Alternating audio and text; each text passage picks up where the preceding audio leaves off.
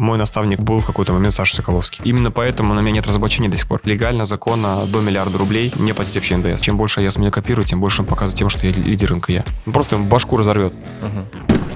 Всем привет, дорогие друзья! Это подкаст Соломина, подкаст про бизнес, саморазвитие и образование. Сегодня у меня в гостях Михаил Гребенюк. Этого человека, я уверен, очень часто сейчас зовут на подкасты, и он многим отказывает. Но я очень рад, что он согласился и посетил мой канал. Я попытался вытащить максимум инсайтов из Михаила.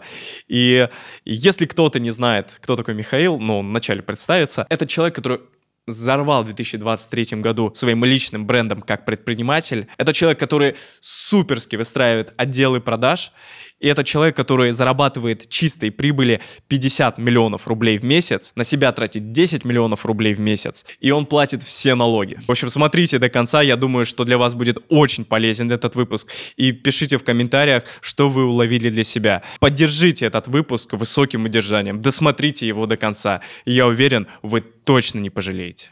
Всем привет, ребят, да, очень рад, что меня позвали выступить, пообщаться, подискутировать. Э, собственно, меня зовут Михаил Гребенюк, мне 31 год, я предприниматель, э, семенин, многодетный отец, у меня четверо детей погодок, старшему сыну 5 лет, э, дочке 3 года, дочке 2 года и еще сыну 5 месяцев. Сейчас исполнилось вот недавно. У меня бизнес в сфере консалтинга. Консалтинг – это консультирование бизнеса в какой-то теме. И вот э, мы, конкретно наша компания, консультирует э, малый и средний бизнес России и стран СНГ э, в вопросе построения отделов продаж. Мы в этом очень неплохо разобрались, как мне кажется, за последние 10 лет. Мы построили на текущую секунду 600 отделов продаж. Что такое построенный отдел продаж? Это когда мы нанимаем туда продавцов, внедряем CRM-систему, скрипты продаж, регламенты, стандарты работы, внутреннюю академию, приборные панели для владельцев, для топ-менеджеров, выстраиваем команду топов, руководитель отдела продаж. Ну, словом, весь контур для того, чтобы в компании заявки, входящий поток, клиенты обрабатывались более эффективно, как следствие компания просто не теряла деньги и больше зарабатывала. Вот такой, наверное, пич, кто я такой. Да, офигенный пич. И я сразу задам контекст, как в чат GPT. Нужно сегодня выдавать максимум инсайтов, полезной информации. Хорошо. Я думаю, ты и без этого бы да. это все делал. Я, да, я буду да. очень стараться. Я для наших зрителей, что мы будем стараться очень это делать. И первый вопрос, который я хотел бы тебе задать. Сколько ты сейчас э, зарабатываешь и тратишь на жизнь? Мы, кстати, вот недавно вот э, здесь тоже на студии Дарья, мой ассистент. Мы вчера себе буквально подбивали бюджет э, э, семейный и вообще в целом там мой. Э, сколько у нас получилось в месяц? Там порядка 10 миллионов, да, на всю историю. Ну, у нас достаточно большие косты, потому что я окружил семью и жену большой заботой. То есть у нас там в семье 6 нянь на четырех детей, что надо посменно, чтобы всегда в доме 4 было. А, мы им снимаем классную квартиру возле нашего дома, а, чтобы у них было хорошее настроение на работу ходить, и это тоже денег стоит. А, у нас три водителя в семье, у нас там два ассистента чисто на семью, которые обслуживают все бытовые вопросы. Это позволяет иметь определенную свободу, в жизни. Я, допустим, могу себе позволить иметь четырех маленьких детей, не подстраивать расписание детей под себя и жену, и в любом момент времени сказать, Кать, пошли на свидание, и мы легко идем на свидание. Поэтому я осознанно плачу много, но вот за эту свободу, за этот классный лайфстайл, там мы снимаем весьма дешевую квартиру, там, которая ежемесячно там, порядка миллиона рублей нам стоит. Это большой пентхаус там, с огромной террасой поэтому порядка 10 миллионов, наверное, выходит в месяц. Вот. Остальное это как реинвестируется, как-то там тратится на какие-то, может быть, э, хотелки, там, типа машин. А зачем снимать такую квартиру? Контекст важно задать? Или это ну, моя философия такая, да. Вот, кстати, это большая проблема многих предпринимателей и тех, которых я учу, а, что вот есть э, два слоя у каждого человека. Это слой его текущего заработка и слой его текущего лайфстайла. И есть три фазы бывает, когда у людей их текущий lifestyle отстает от заработка. То есть человек живет так, как будто он зарабатывает 500 тысяч, при этом зарабатывает уже 3, 4, 5 миллионов. Бывает, когда у человека один к одному. То есть он вот на что зарабатывает, ну, как бы примерно такого уровня он живет. То есть ты видишь человека, понимаешь, что, его lifestyle похож на ту сумму, которую он зарабатывает. Бывает, когда человек себе делает растяжку. Я все-таки склонен к тому, что когда ты на себя примеряешь новый уровень, в плане лайфстайла, то расти получается быстрее и проще. Почему? У нас в голове есть, э, вот как в любой компании, такой здоровый, должен быть по-хорошему у владельца бизнеса два подчиненных. Это SEO, генеральный директор, и финансовый директор. SEO отвечает за всю операционку, за рост компании, за масштабирование, за стратегию там, и так далее. А Финдир выделяет ресурсы.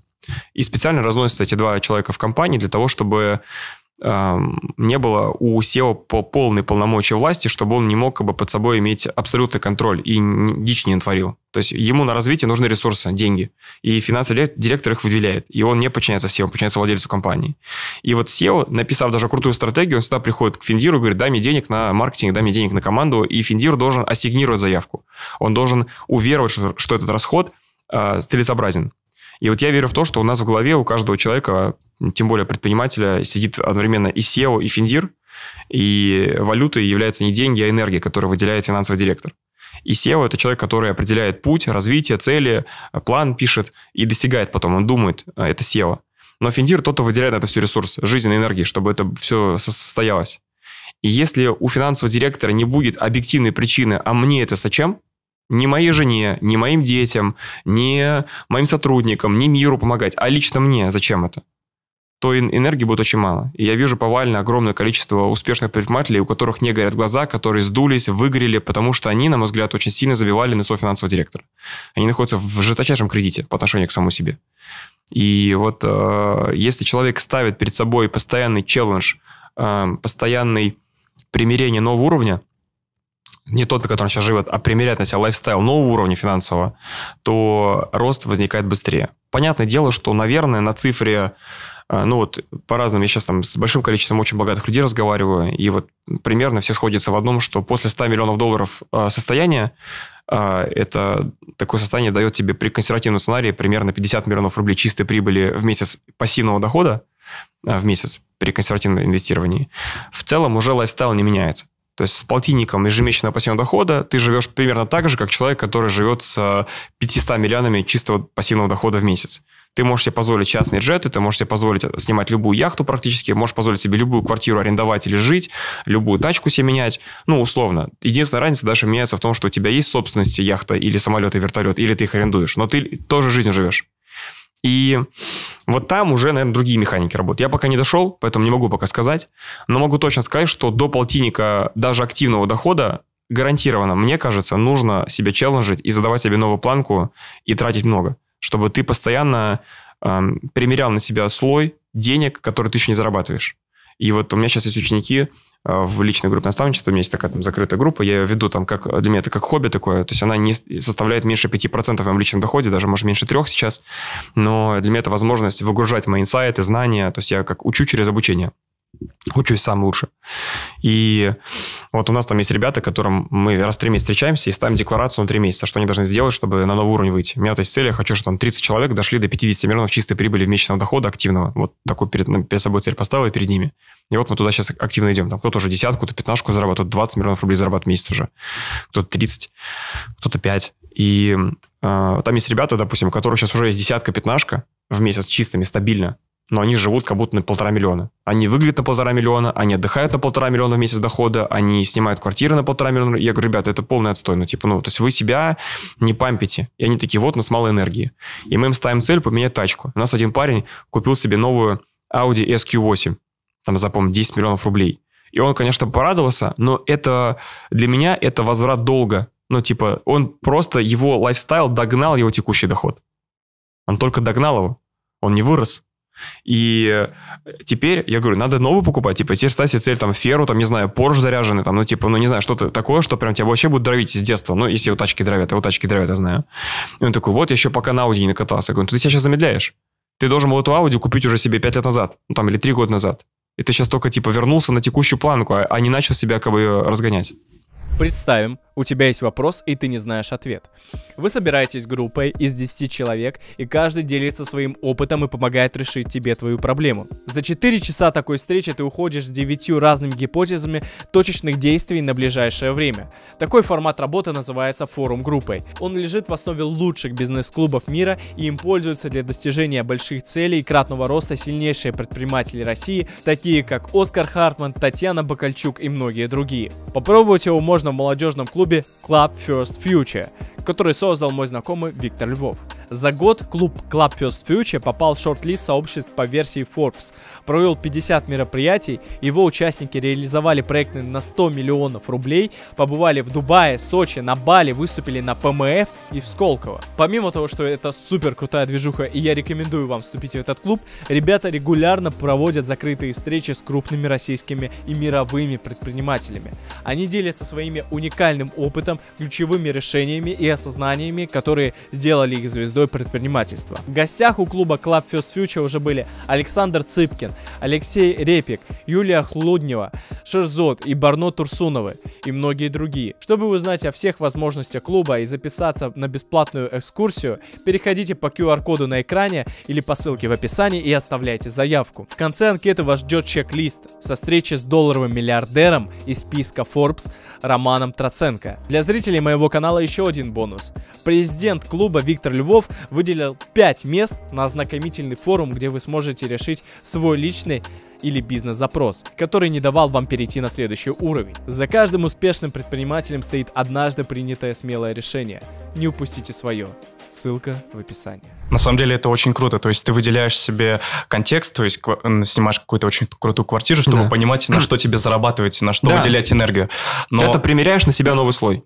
Да, но как тут найти баланс между расточительством и э, примерять на себя новый а слой. как ты понимаешь слово расточительство? Для тебя это что такое? Ну, когда человек начинает очень много тратить, не рассчитывая свой бюджет. Ну, то есть он начинает тратить э, столько же, сколько зарабатывает, ну, или даже больше. То есть уходя в какие-то кредиты. Ну, ничего при этом не откладывая. Я думаю, что это не расточительство. То есть для меня это не расточительство. А ты контролируешь финансы. Но, условно говоря, у тебя лежит миллион рублей, и ты думаешь, вложить его в очередной станок или купить себе первый в жизни классный отпуск с точки зрения Excel станок побеждает. Да. С точки зрения жизни побеждает отпуск. Потому что если у тебя будет станок, но не будет энергии, ты не будешь расти. Если у тебя есть Мальдивы или там какой-нибудь классный отпуск за миллион, ты с такими глазами приедешь, заряженными, что ты найдешь инвестиции на станок, если он реально окупаемый. Да, у тебя будет меньше прибыли, но ты быстрее раскрутишься, потому что ты будешь на работу идти с очень понятным ответом, зачем ты все это делаешь. То есть, по твоему опыту, энергия была всегда важнее, да, чем я, станок? Мне спрашивают, ну, я только в этом году начал инвестировать деньги, э, сформировать пассивный доход, ну, то есть, ко мне начали какие-то деньги откладываться, копиться, там, излишки и так далее. До этого я все тратил в хотелки, и мне говорили, как ты не инвестируешь? Я считаю себя профессиональным инвестором. Я профессиональный инвестор в собственное состояние. И мое собственное состояние всегда мне давало больше доход, больше возврат инвестиций, чем какой-нибудь, там, не знаю, вклад в Сбербанке или квартира в Жлебино, сдачу в аренду по подъезду купить. А сколько ты откладываешь сейчас? У меня нет такого процента жесткого, то есть если ставлю цель, сколько хочу откладывать, ну, я вот, мы с Дарьей вчера бюджет собирали, сидели, когда мы поставили себе цель за ближайшие полгода в месяц вкладывать по 100 тысяч долларов инвестировать. Задача каждый месяц 100 тысяч долларов инвестировать во что-то. А, в какой-то концентрированный пассивный доход. То есть я правильно понимаю, что э, стоимость аренды вашего жилья не должно превышать 10% от вашего дохода, это все...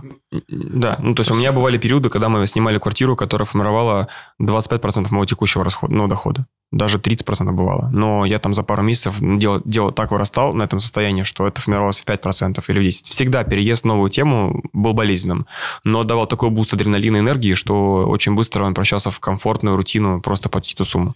А допускаешь ли ты, что это ошибка выжившего? То, что это ты такой крутой, у тебя уникальные навыки, и только у тебя так получается, а у других, скорее всего, так не будет работать? Я думаю, что нет.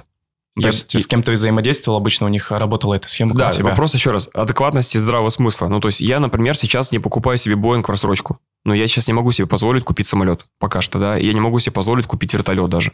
Ну, то есть, несмотря на то, что нормальный вертолет Робинсон стоит миллион долларов, то, ну, как бы это сейчас болезненная трата, то есть в соотношении с другим, э, этим слоем жизни у меня, у меня есть задача купить вертолет, потому что я хочу летать там на классную дачу в одной определенной локации под Суздалем, где я там вырос, и то логистика тяжелая, а на вертике туда ли час лететь от Москвы очень удобно, там место силы такое мое.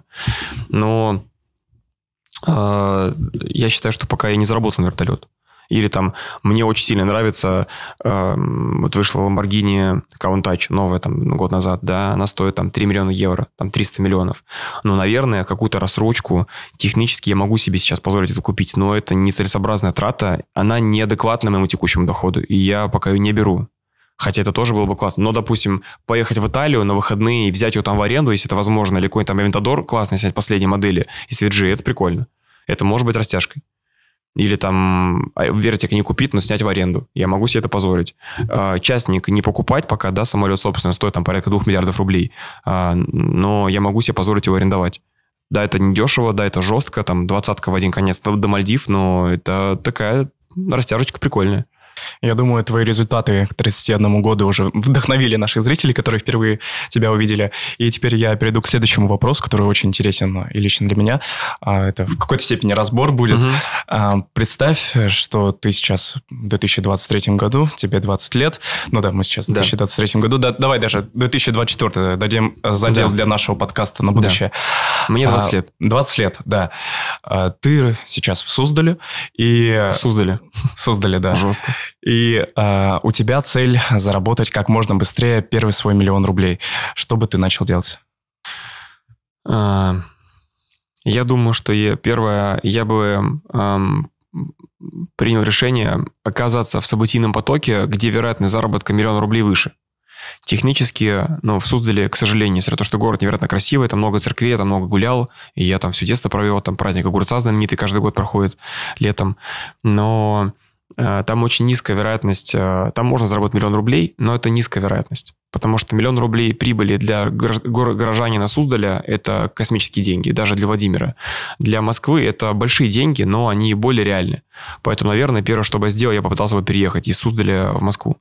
Я бы сформулировал какой-то себе э, доход, устроился бы на работу просто там бизнес-ассистентом каким-нибудь к очень крутому заряженному предпринимателю, и пытался бы этот доход э, как-то мультиплицировать в найме. Вообще, как бы стратегия такая. А, я понимаю, что э, я сейчас советую ее с колокольни 31 года. И, конечно же, в 20 лет я хотел не такие слова услышать. Но если кто-то этим вдохновится, да, и, ну, это, мне кажется, будет прикольно. Вот такая мысль, что до э, 20 лет человеку важно э, поймать э, волну какого-то первичного успеха, чтобы просто поверить в свои силы.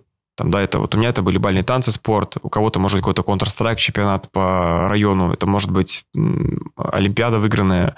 Ну, вообще прикольно, если человек до 20 лет в чем-то победил. Это просто формирует его характер, умение дожимать. А, до 30 лет. 20... Извини, сразу да. перебью. А у тебя было что-то к 20 годам помимо бальных танцев? А, бальные танцы. Первое, э, я мастер спорта, третья пара Москвы, топ-50 пар мира входил из 5000 пар. То есть не супер выдающаяся карьера, но неплохая. Круто. В целом неплохо танцевал, я бы сказал так. А, потом а, у меня был уже успех заработка собственных денег весьма неплохой. То есть я там порядка 200 тысяч в месяц зарабатывал сам на там, тренировках, на преподавании истории, на создании образов, стилист, стилистом работал на турнирах по танцам, прически мальчикам делал турнирные. Вот. Плюс э, я реально заманячил, я в 11 классе принял решение поступать на историка, и я не знал, я принципиально не изучил историю, считал, что она вообще не, нужна никому. И вот я влюбился в историю в октябре 11 класса, и за 8 месяцев я выучил историю так, что я написал лучший ЕГЭ по истории в школе, в гуманитарной гимназии, и на первом месте поступил по в университет пускай педагогический, наверное, там какой-нибудь крутой вуз типа МГУ, я бы поступил далеко не на первом, и, возможно, я бы не поступил на бюджет, но здесь получилось победить. Поэтому до 20 лет, мне кажется, важно это какую-то победу испытать ребенку, а, ну, молодому человеку. 20-30 лет – это период накопления компетенций. Задача в этот период, а, на самом деле, если мы говорим про а, не быстрое богатство, а богатство навсегда, вот это мой девиз, да, нет цели разбогатеть быстро, есть цель разбогатеть навсегда. И вот это очень такая важная формулировка. Очень много людей, кто взлетали и падали. А вот э, что в фундаменте должно быть, чтобы точно безоткатная была история. И вот 20-30 лет, наверное, это путь главный не про заработок денег. Это, безусловно, деньги будут. Если фишка в том, что если об этом думать, то, что сейчас скажу, то деньги автоматом будут приходить. И то, про что мы с тобой даже перед началом подкаста говорили, там, тебе 22 года, ты там классно развиваешься, ты там занимаешься личным брендом, ребят. А, задача до, до 30 лет стать топ-1 или одним из лучших в чем-то в мире.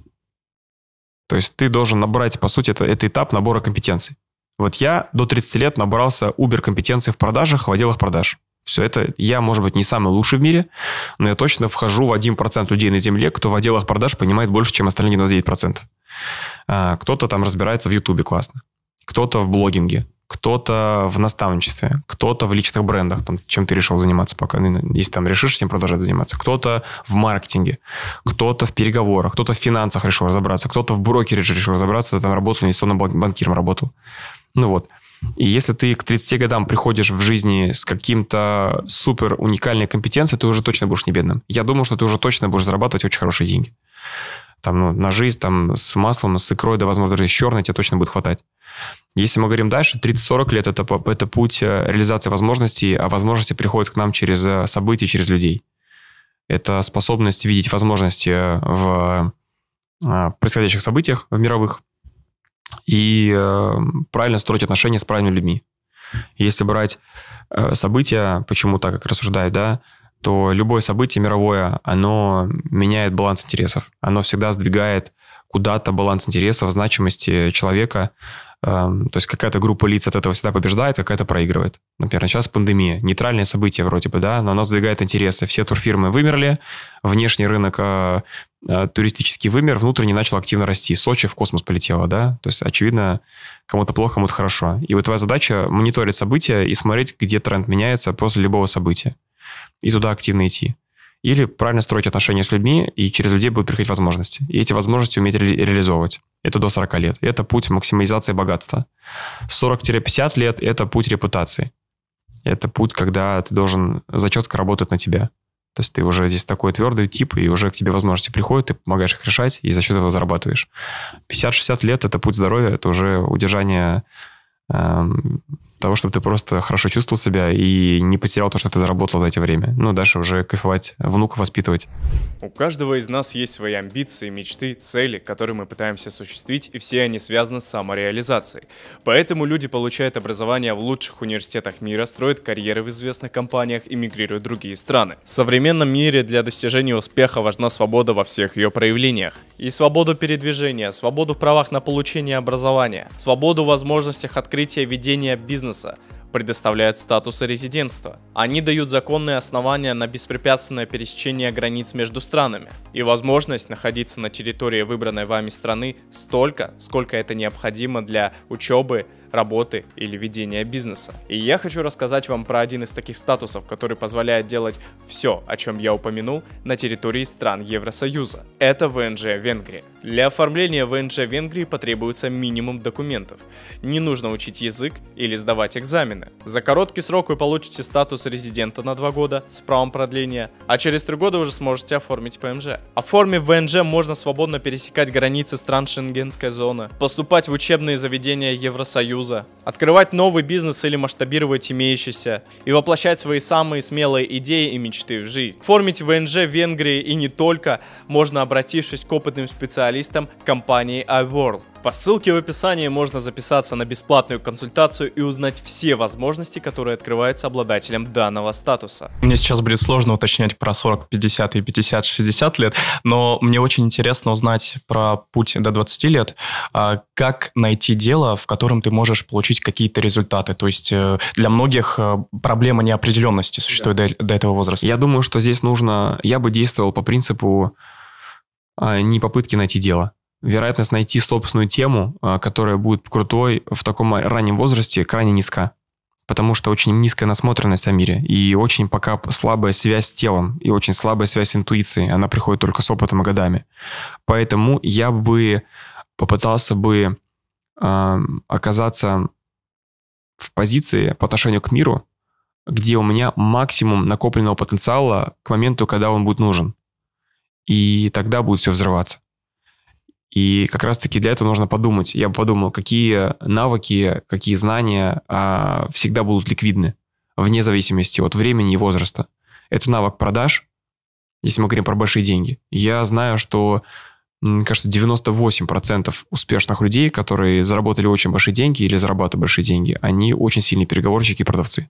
Поэтому навык продаж очень сильный.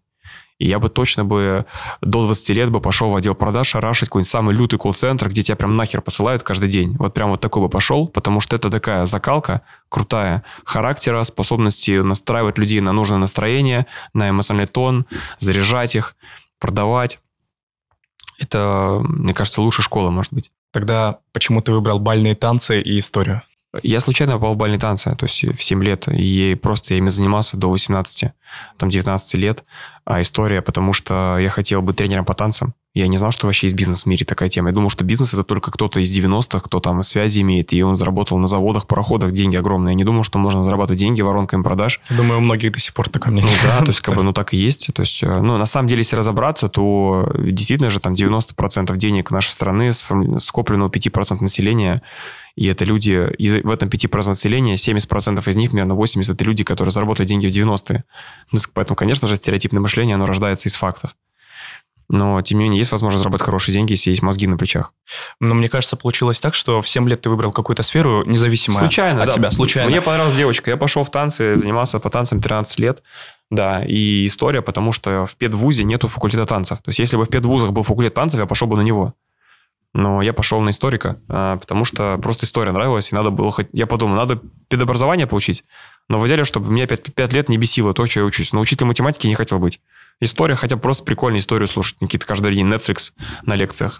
Как там, какой король кого убил. Но если отойти немножко от продаж, то независимо от того, какую ты сферу выбирал, ты добивался максимальных результатов. То есть ты пытался заманьячить, да, как ты обычно говоришь, угу. эту, эту тему. Да.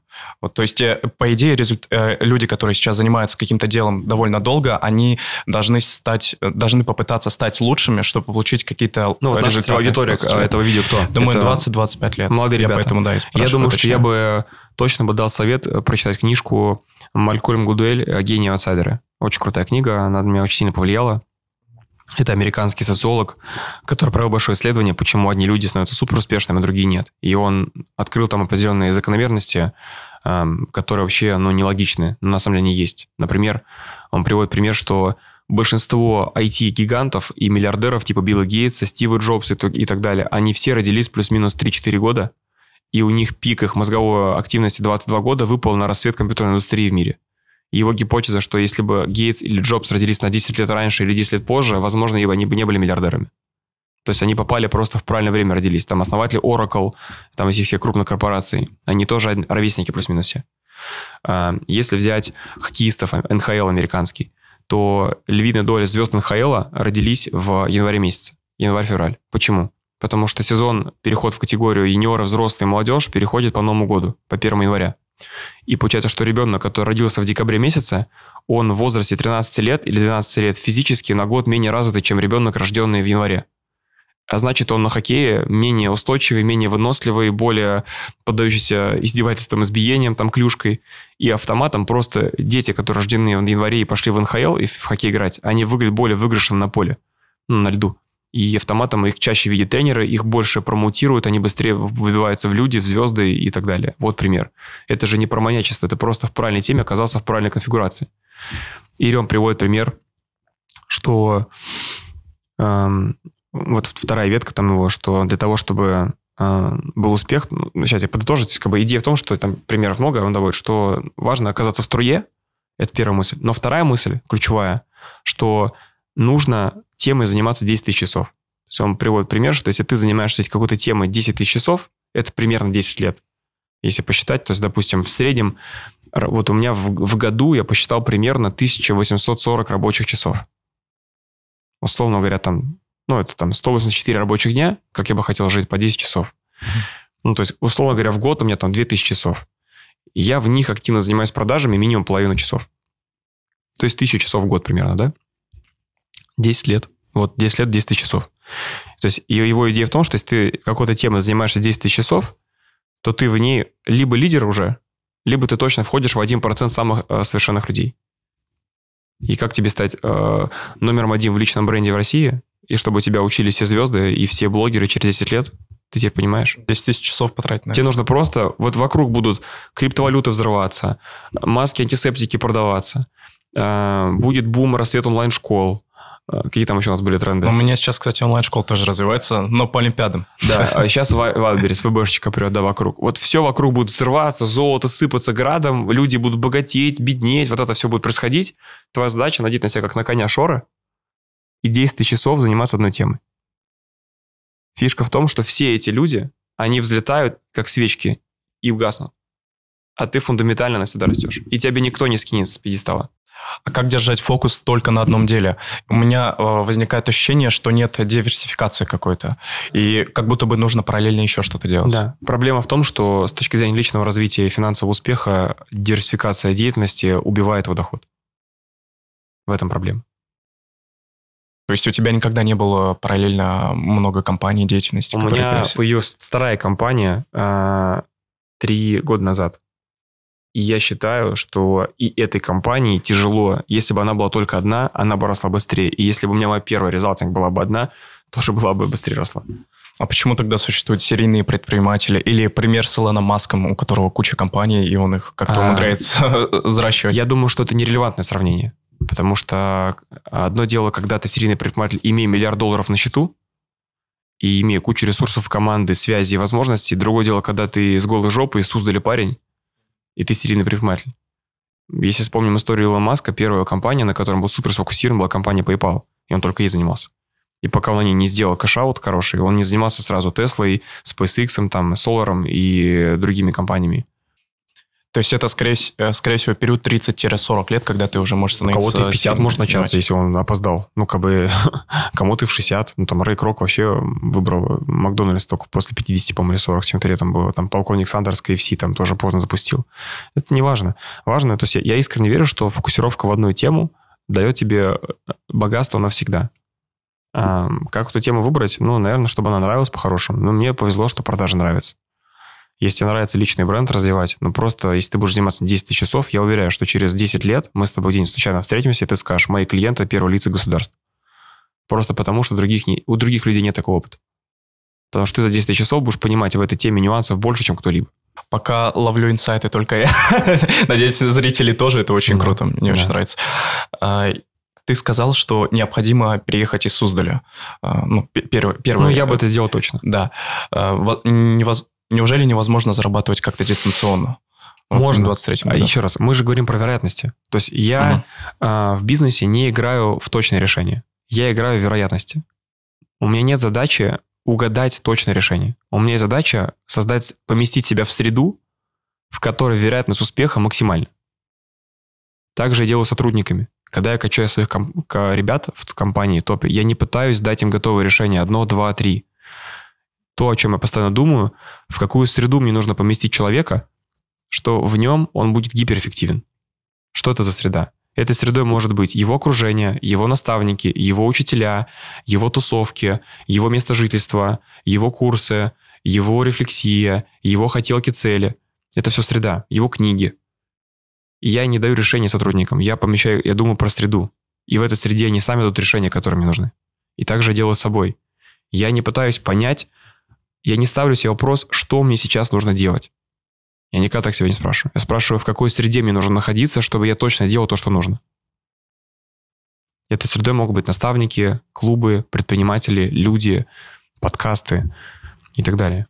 То есть, э, если даже ты работаешь дистанционно и переезжаешь из Суздаля в Москву, у тебя там будет окружение, которое будет оказывать ну, положительное давление. Ты можешь находясь в Суздале или в любом другом городе оказаться в правильной среде, но это будет просто с точки зрения теории вероятности сложнее сделать. Ну, то есть, очевидно, что тебе придется... Ты можешь жить в Суздале, но логично, что ты, скорее всего, все тусовки с людьми масштабнее себя будешь находить либо в онлайне, в зуме, либо тебе придется кататься. Но кататься, логистика будет разрушать твой э, временной слой, потому что ты будешь тратить слишком много времени на логистику, при этом которая не очень комфортна, она будет уничтожать твою энергию. Поэтому это тупо невыгодно финансово э, находиться в этом месте, если мы говорим про большой успех финансовый. Это не значит, что потом ты не можешь вернуться в Суздаль. Когда ты встал на ноги, когда у тебя пошел доход, и ты хочешь свой город развивать, если бы я был родом из Суздаля, и я бы вырвался в люди, зарабатывал бы деньги, я бы вернулся в Суздаль, и я бы сделал все, чтобы городу было прекрасно. Фишка в том, что для того, чтобы сделать своей родине круто, тебе нужно с нее уехать. И тогда ты вернешься туда человеком с ресурсами и сможешь реально ей помочь. Помогать своему Суздалю с голой жопой, но такая себе история. И ты сказал, что пошел бы работать бизнес-ассистентом на первом Это опять же про навыки. То есть навык какой первый? Первый – это продажа переговоры. Я бы точно пытался бы это сделать. Потом я пытался бы каким-то образом стать любым управленцем, взять себе людей в подчинение и окружить себя опытными управленцами, чтобы научиться управлять людьми. Это в целом важный навык для построения систем если мы говорим про предпринимательство, не инвестиции. И третье, я бы э, как ветку тоже, может быть, рассмотрел бизнес-ассистентом вместо продавца и туда потом э, рост управленца. Потому что Это два базовых навыка. Продажи, переговоры и управление. Без них невозможно построить систему и продавать. Пока это звучит очень абстрактно, как э, именно стать управленцем. То есть э, ты просто крутой продажник, и после этого, как только ты крутые показал результаты, системно 2-3 месяца подряд, ты просто идешь к своему ропу или директору и говоришь, я хочу быть управленцем, дайте мне возможность. И ты начинаешь уничтожать просто его расписание своими запросами на управление. И рано или поздно он сдастся. Не один раз, два, три, пять, десять раз. Ты просто изнасилуешь его расписание, и у него нет шансов тебе не дать опыт управления. Даже без повышения оплаты твоих услуг. Я бы сказал, если, если я что-то себя представляю, я бы сказал, ну, дайте мне условия, которые вы считаете справедливыми. И мне дали бы точно справедливые условия. И я бы не спорил. Но я бы сказал, моя задача, вы мне даете условия, но вы мне даете помимо условий возможность с вами раз в месяц обедать или ужинать. Мне нужно в месяц полтора часа вашего времени. Я без этого не стану руководителем. Мне нужно понять, что в вашей голове. Это наглость, желание э, голодно впитывать знания руководителя, она соблазнит любого управленца. Потому что в компаниях дефицит людей с таким настроем. Эти люди, потенциальный путь, даже, скорее всего, ты потом можешь не открывать свой бизнес. Вероятность такого движения – младший партнер с долей в бизнесе. А у босса, а, к которому ты приходишь а, с таким предложением, не могут э, возникнуть мысли по типу, он потом уйдет из компании и сделает гораздо более конкурентную а, штуку, чем у меня? Могут возникнуть, если это человек маленького калибра. Почему маленького калибра? Ну, потому что ну, у меня принцип в компании такой. Я лучше буду развивать э, всех людей, и кто-то уйдет, чем я не буду развивать никого, и все останутся. То есть так будет выше вероятность успеха в любом случае. Человек уходит открывать собственный бизнес только по одной причине. Потому что ты не заметил вовремя момент, когда он был готов быть предпринимателем, не дал ему эту возможность. По факту, если у тебя топ-менеджер супер твердый, сильный, адекватный, амбициозный, а, благодарный, отдающий, и он хочет идти в собственный бизнес, это, идея, это уникальная возможность, это уникальный шанс. Ты просто говоришь, давай вместе что-нибудь замутим. Ты даешь ему свои знания, опыт, покровительство, инвестиции, ресурсы, тему, а он становится CEO с младшей долей. Космос вообще. Космос. Владимир Седов построил так кучу бизнесов, Аскона. Все его партнеры – это его топы. Это мой путь, я хочу так двигаться. Ты сейчас так делаешь? Ну, пока нет, пока не доросли ребята, но я открываю эту перспективу ребят. Я говорю, что вот я реально своим ребятам говорю, я с вами навсегда. Вы должны относиться к тому, что я с вами навсегда, и вы со мной навсегда. Все, мы с вами всегда будем богатыми. Просто держитесь со мной рядом, и я сделаю вас сами богатыми людьми. Неважно, какая позиция. Давай еще более конкретно попробуем обрисовать ситуацию. А, человек из Суздаля приезжает в Москву, устраивается да. продажником. Да. А, как ему стать самым крутым продажником? Сколько это может занять Простое времени? решение. Я думаю, происходит? два месяца. Два, месяца. Что ему нужно делать? Его задача найти э, своего руко... ну, взять, взять руководителя и сказать, я хочу быть самым крутым продажником. Я буду грызть землю, я буду делать все, что мне скажете. Вот можете мне просто коучить, наставлять и искренне стараться и делать то, что тебе сказали. Вообще ничего не придумывайте. Не посаботировать. Нету такой роскоши у тебя в 20 лет, как скепсис. Нет такой роскоши, как обесценка идей и советов руководителя. Нету такой роскоши, как спорить. Ты просто берешь и делаешь тупо то, что тебе сказали, и благодаришь за все. Я, если так, я просто так сделал. Я устроился работать менеджером продажи. Я через месяц был лучшим продавцом. Я в первый же месяц продаж сделал рекордную за всю историю компании продажи без опыта в продажах. Просто сделаю то, что мне сказали. Мне сказали, вот тебе Excel, вот трубка, вот тебе продукт, который продавать, вот как надо говорить. Я такой, поехали. Я за первый же месяц даю 400 тысяч выручки в тренинговой компании. Как думаешь, почему именно у тебя так получилось? Мне просто было очень надо. Я просто не хотел жить в жопе, понимаешь? Вот и все. Единственная проблема, мне просто было очень надо, и очень много людей, им просто не надо. Просто им... Почему я сейчас у тебя на подкасте? Я, я начал отказывать людям. Я перестал ходить на все подкасты подряд, как это было полгода назад. Тебе просто было очень надо. Тебе было так надо, что ты меня встретил на улице у машины. Ты меня ждал, видно, что тебе было холодно, и мы немножко опоздали из-за пробок. Но тебе было очень надо. Ты провел меня, ты напрягался, видно, что ты стараешься, видно, что тебе важно, видно, что ты переживаешь. Да? Вот у казахов есть прикольное такое выражение, там, типа, на казахском, типа, не важно, как ты кипятишь чай, важно, как ты кипятишься, когда к тебе гости приходят. Ты очень кипятишься. И поэтому я здесь. И мне При, хочется тебя поддержать. Слышать, что это заметно. Ну да, то есть, ну это же видно. Ну типа, я хочу тебя поддержать, там, поддержать, там, ну и вдохновить, там, давай, это красава. И очень много кому не надо. Ну, люди пишут там, типа, ну давай там приходи. Я такой, ну, приду как-нибудь там в следующей жизни. И также менеджеры продажи, они могут, типа, ну, им, ой, кому-то очень надо, а кто-то пришел просто там получку зарабатывать. Ну, поэтому они растут они. Как думаешь, какие были ключевые качества, а, по которым у тебя получалось сделать такие классные результаты? Что тебя выделяло на фоне остальных продажников, помимо того, что тебе было очень надо? Я думаю, это все. Это ключевое. А, пер, да, два. Первое, очень надо, и второе, слепая вера наставнику. Все. Больше ничего не надо. Но мне кажется, тут повезло с наставником еще в какой-то Любой человек, имеющий факт больше тебя, твой наставник может быть. Любой. Кто-то говорит, я бы хотел, чтобы ты был моим наставником. Но фишка в том, что если сейчас я буду наставником для пацана 20 лет, его разорвет нахрен, понимаешь? Он просто ему башку разорвет. Но он не справится, у него будет передоз информации. И мне будет скучно, что мне не... Но я буду ему говорить, давай, чувак, подумаем, как тебе вот нанять первого сотрудника. Преодолей свой страх. Ну, блин. Ну, почитай книжки. Но есть люди, которые год назад прошли этот путь, и они с удовольствием поделились бы этим опытом. Поэтому, когда ко мне подходят люди с небольшим уровнем говорят, я хочу, чтобы ты меня наставлял, я говорю, супер, я готов первому тебе совет наставника, найди себе наставника по плечу. Они говорят, я хочу, чтобы ты был. Я говорю, ты уже не готов быть моим учеником. Я тебе как наставник говорю совет первый. Найти наставника. Я не думаю, что я их сливаю. Слепая вера должна быть. Да, а это фишка в том, что я от сердца говорю реально самый точный совет. Ему сейчас нужен наставник, который не имеет такой загрузки, как я, готовый с ним заниматься больше, чем я, готовый разжевывать все больше, чем я. Я этот путь прошел. Я таких людей кучу вырастил. Но сейчас там, типа, я уже стараюсь там меньше времени оптимизировать, но там точную фразу кинул, и человек там плюс миллион, плюс два, плюс три, плюс десять. Но я не нужен такому человеку сейчас. Ему нужен другой. И поэтому искренне говорю, чувак, тебе не нужен, я нужен другой. Он говорит, ты мне сливаешь. И обижаются. Ну, типа, ну, неготовность просто воспринимать советы как есть. Для многих может быть не очевидно, а как наставник может в целом улучшить твои результаты и прогрессию. Как родитель может научить ребенка ходить. Очень просто. Учить ходить или забить болт и не учить ходить. Ты тоже пойдешь, но просто на год позже, на два года позже. Как родитель может научить ребенка читать, писать? Может научить, а может не учить, но школу научит. Но просто будет сложнее. Как наставник? Ну, вот так и научит. Можешь рассказать, как у тебя был подход э, выбран наставник? Как это происходило? Любой человек с фактом больше моего, мой наставник.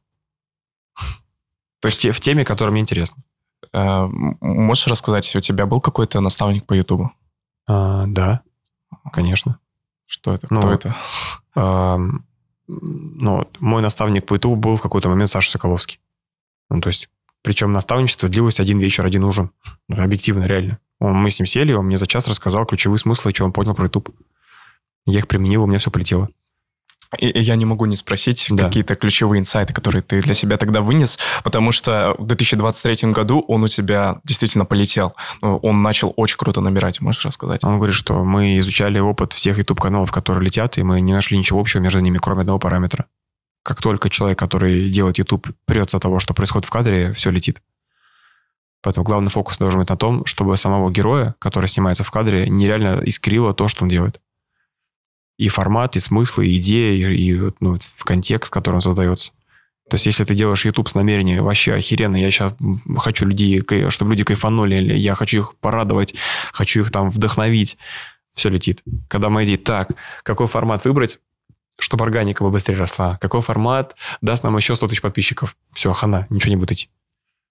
Фокус на цифрах убивает YouTube. И ты в этот момент понял, надо, чтобы меня искрило. Да, я начал искать, что мне искрит. Я понял точно. Я тогда понял, что... Я тогда не знал, что мне искрит. Тогда разборы еще не были придуманы. Но я понял, что меня точно не искрит. Меня не искрит сидеть на камеру одному говорить умные вещи. Говорящая голова формат. Мне не нравится. Меня раздражает меня просто такой формат. Формат подкастов на аудиторию это для того, чтобы искрило?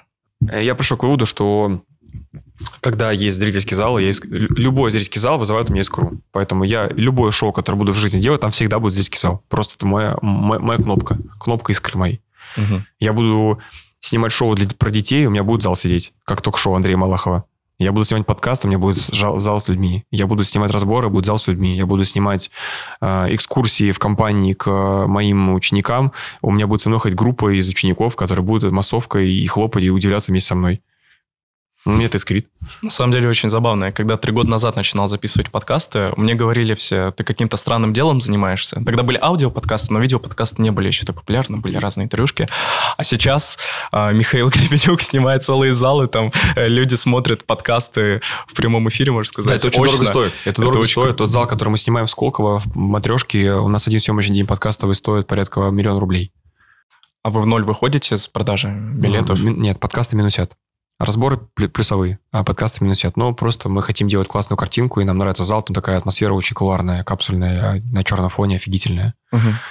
А какие амбиции, какой стадион максимум снять для записи подкастов? Нет таких амбиций. По, по подкастам мне нравится формат. Вот, ну, такой, знаешь, я, я разные тестирую форматы. 50 гостей, 100 гостей, 300 гостей, 500 гостей. Вот идеальная конструкция – это 150-300 гостей. Ну, 200-300 прям самый идеальный слой, вот, при котором удается магию создать. Поэтому больше не цели. Как тебе самому кажется, почему этот формат э, взорвал, можно сказать, последний, Подкасты? последний год? Да? У всех или у меня? У всех, и у тебя в том числе. У тебя, мне кажется, рекордные э, просмотры по бизнес-тематике подкаст. Да нет, мне кажется, больше ребят есть. Ну, Саша Сковский больше набирает Ну, подкаст. у тебя второе место, третье точно. Ну, может, что-то получается, да. То есть, не классно. Не, точно идет органика, сто пудов. Да. Эм, я про это рефлексировал. Мне Гриша Ветов, мой друг, с которым мы тоже снимали да, подкаст, смотрел. Э, да, он мне подарил билеты, мы с ним ходили в театр э, на «Войну и мир». И мы просидели в театре Вахтангова вот неделю назад, пять часов, посмотрели «Войну и мир». Пятичасовой спектакль с двумя антрактами. Ну, просто было супер. Не просто казалось высидеть, но на самом деле легко прошло все. И а, там, ты «Войну и мир» помнишь, читал, нет? Да, читал. Вот, там вот если там, главный герой... Побольше, да, то есть там такая мысль, что ну, то есть там показываются российские ключевые семьи, да, до вторжения Наполеона, потом во время вторжения и вот как бы после, да, вторжения Наполеона, вот какой-то период. И там всех героев, вот мы с ним рефлексировали после спектакля, все герои «Войне и мире», Толстой еще гениально сделал, они все, условно, их можно разделить на две категории. А, там были... Все герои имели какую-то стартовую точку. А, там, да, Наташа Ростова, Пьер Безухов, там, Балконский Андрей, там, отец Андрея Балков, Балконского, там, ну и так далее. Отец Наташи Ростовой, а, сам Пьер. Они все были какими-то людьми. Их Толстой очень ярко показывает. Первую часть, да? Угу. Потом начинается вбрасываться черный лебедь. Наполеон. Вторжение Наполеона, который сжигает села, Смоленск, там, Москву, и люди все теряют. И люди, которые смогли пере, пере, пересобраться, измениться, пройти трансформацию, эти люди выживают. Все, кто не смогли измениться, их Толстой всех убил. Они либо умирают, как отец Балконского. Балконские полевое ранение, там, да, погибает, там, осколок. А, Пьер Безухов там полностью меняет свое отношение к жизни. Наташа Ростова полностью меняет отношение к жизни. Там, как ее там колбасило от одного мужика к другому, да. И вот а, ну, вау просто. Гениальная история, там, произведение, спектакль потрясающий. Вот реально рекомендую сходить. Там очень много смысла для, для бизнеса можно подыскать. И мы с Гришей такие вышли под впечатлением, типа, почему нас так вот, на то, что было 12 часов ночи, когда закончилось, нас так, ну, вставило прям. Почему э, «Война и мир» считается одним из ключевых произведений там, да, мировой литературе. Я вот недавно в Индонезии катался на серфинге, и мы на споте познакомились э, с австралом, мужиком, ему 56 лет, он австралиец, и у него в Австралии сеть ресторанов, успешный предприниматель, с ним заболтали, пока волну ждали. И э, я говорю, типа, а что там про Россию думаете? Он говорит, я вообще Россию обожаю, особенно российскую литературу, я мечтаю бывать в Петербурге, особенно Толстого люблю вообще. Говорит, я всего Толстого Достоевского перечитал. Я, русская литература – это космос, он говорит мне, австрал. Никогда в России не был. У меня, говорит, все мои дети читают, я их заставляю. И я такой думаю, ну вот мы с Гришей рассуждали, а почему, вот в чем величие Толстого? Ну, на жаль, почему «Война и мир» такая уникальная, такое уникальное произведение? Оно в своем ДНК имеет главную идею – эволюцию. Толстой показал эволюцию российских семей до и после отражения Наполеона. И эволюция всегда интересна. Поэтому все, что с точки зрения кинематографа, с точки зрения произведений, с точки зрения контента имеет эволюцию, вызывает огромный интерес. Поэтому подкасты, которые просто о чем-то да ни, ни о чем, не цепляют. Подкасты, в которых э, интервьюер помогает зрителю увидеть эволюцию гостя, очень сильно заходит. И по факту наш подкаст «Наверен» — это моя попытка показать эволюцию пути предпринимателя, как он, не имея ничего, дошел до текущих масштабных цифр. Как Виктор Кузнецов, студент, 150 миллиардов оборот, там 12 тысяч сотрудников. Григорий Аветов, какой-то парень, там, э, армянин, форумы, стадионы, Тони Робинс, там, масштабные мероприятия, ивент-компании, супер, там, вообще известный, там, можно сказать, там, э, крестный отец инфобизнеса в стране, там, да, один из. Э, и другие ребята. Классно ты химию подкаста своего сейчас раскрыл на, на таком интересном очень примере. Разбор – это что же эволюция? Почему разборы летят? Это что же эволюция? Мы берем героя точка А, Да, он пока не совершил эволюцию, но мы с ним простраиваем видение его эволюции. Как тебе прийти в точку Б? Эволюция всегда очень интересно. «Золушка» — великое произведение. Большинство самых знаменитых э, кинематографических картин — это история Золушки. Фильм «Красотка» с Джули Робертс и Ричардом Гиром. Это же Золушка. Была никем, проституткой стала, там, вышла замуж там, за богатого человека. Вот зачем, оказывается, нужно читать художественную литературу, не только бизнес-литературу. Ну, да, чтобы никто не подумал, если что, я чурбан натесанный, я очень мало читал художественную литературу, поэтому и «Войну и мир» я плохо помнил. Благодаря театру Вахтангова я немножко вот э, разобрался, кто вообще там что делал. Чтобы, да, никто не подумал, что я суперинтеллектуал. Очень круто, что за пять часов они смогли как-то это вместить. Да, это, кстати, реально уникальная возможность. Ну, четыре, книги с нашим ритмом вряд ли ты прочитаешь, даже в красном 43 часа, по-моему, читать, я когда давно смотрел. Да, а пять часов, и в целом какое-то общее очертание для рефлексии понятно. Как ты думаешь, почему в 2023 году твой личный бренд так сильно взорвал? Я думаю, это совокупность факторов, эм, внутренних и внешних. Внутренние – это эм, точка, в которой накопились знания, опыт, компетенции, эм, психотерапия с аутентичностью, ядро, там, найденная тема с разборами, вот это все помноженное на э, очень большой отток э, медийных людей из России, э, в освобождении инфополя, э, возникновение огромного голода у населения предпринимателей на тему новых знаний в силу того, что огромная неопределенность на рынке. И в этой неопределенности старые модели не работают, а новых людей не понимают. Единственный вариант их узнать – это учеба. Поэтому очень так сейчас активно растет рынок образования и бизнес-образования. И, наверное, я думаю, что используя стратегию малькольма дуэля, конечно, там есть какая-то там Uh, во мне точно талант и гениальность своя там, да, как у каждого из нас в чем-то. Uh, конечно, у меня есть накоплено 10 тысяч часов там выступлений публичных, там, ну, я думаю, у меня тысяч шесть на сцене точно есть, там 5, uh, и плюс там продаж там и управления. Но я, как Стив Джобс и Билл Гейтс, оказался в 30 лет в той точке, в той стране, где то, что я делаю, супер востребовано. Мне супер повезло. И поэтому сейчас моя задача просто не мешать вселенной, помогать мне расти. Сейчас бы хотел разобрать э, два вопроса. Эм, психотерапия, аутентичность и голод на рынке. Да. Можешь рассказать, э, что ты раскопал, когда ты работал психотерапевтом? А, ну, тут простая механика. На самом деле, у каждого из нас есть искалеченное детство, по-своему, какими бы ни были шикарны наши родители, если детство было супер трудное, там родители развелись, родители, там кто-то умер, не дай бог, э, дедом или э, какие-то внутренние семейные конфликты постоянные, там отдавание к бабушкам или конкуренция с семью, братьями и сестрами, это все ребенку нарождает определенный слой болей в голове через, и надевает на него определенного вида очки, искаженные, кривые зеркала, через которые человек смотрит на жизнь. И его решения многие принимаются не на основе разумного, там, здравого смысла, его цели, а на основании э, игры в эти паттерны. Психотерапия позволяет тебе их обнаружить. Она вряд ли поможет тебе их когда-либо отключить, но она позволит тебе их контролировать. То есть ты сможешь, если ты хорошо этим плотно позанимаешься, ты сможешь понять, о, понятно, это сейчас вот там во мне, короче, там та детская травма играет, она вот заставляет мне такое решение принять. Я, короче, не-не-не, я не буду так делать, я пойду вот моим путем, как я чувствую, как правильно. И в этом замысел психотерапии мы тебя видим все с картинки и уже воспринимаем как классное шоу, ну, подкасты или разборы, но... Шоумен. Да, чтобы докопаться до сути, чтобы применить, э, примерить как-то твой опыт на себе, э, хотелось бы понять, в чем твоя аутентичность, э, что ты понял для себя? Я понял, что во мне классно уживаются три субличности.